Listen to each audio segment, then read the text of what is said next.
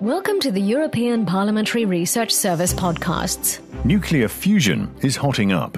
It probably won't arrive in time to fix climate change, but could this process that also powers the sun and other stars help solve our future energy needs? Stay with us. The basic function of a nuclear fusion reactor is the combination of two hydrogen nuclei into a single helium atom with slightly less mass than the sum of the two original ones. The lost mass is converted into energy with near zero carbon emissions and without the dangerous radioactive waste generated by today's nuclear fission reactors. The physics are known and the fuel readily available. So, in a world desperate for an abundant source of clean energy, could nuclear fusion be the solution? Well, physicists have been studying nuclear fusion since the 1950s, but turning it into a controlled energy source has remained frustratingly elusive. Although last December, physicists working on fusion claimed a breakthrough. US researchers at the National Ignition Facility announced they had for the first time achieved ignition. That is, a net energy gain from a fusion reaction, though not nearly enough to account for the electricity demand of operating their equipment. In facilities like the Joint European Torus near Oxford in the UK, scientists are able to heat up plasma to the necessary temperatures, 10 times as hot as the core of the Sun. But heating the plasma and keeping it confined in the reactor requires energy intensive magnets, or lasers, that use more energy than the fusion reaction generated.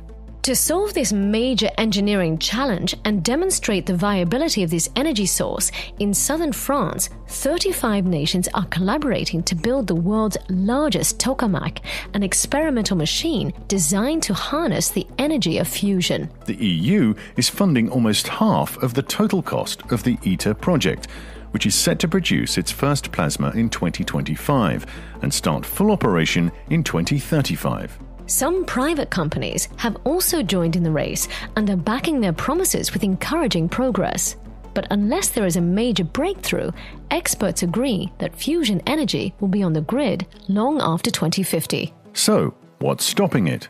Well, apart from the major engineering challenges, there are other constraints linked to the availability of raw materials, fuels, and skilled workers. Building a fusion reactor requires rare earth elements such as neodymium for the magnets, which is already at very high supply risk.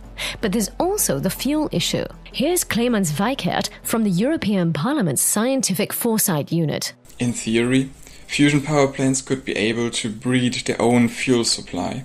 But until then, ITER reactors need tritium, a radioactive form of hydrogen mostly produced by few, nearly obsolete nuclear power plants in Canada.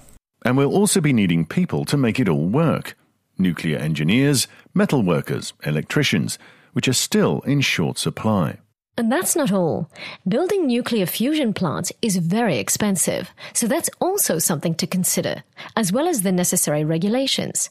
So, how can the EU help pave the way for the sector's development? Truth is, Europe is taking a leading role in fusion research worldwide through the ITER project, but also through the Euratom research and training program, which promotes nuclear research and innovation.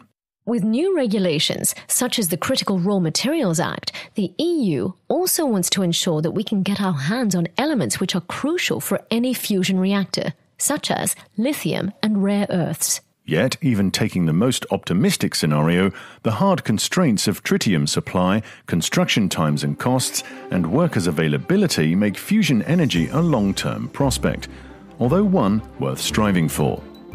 Want to know more? Check out Antonio Vale and Clemens Weikert's full policy brief on the EPRS website or in our app. This is a European Parliamentary Research Service podcast. Thanks for listening.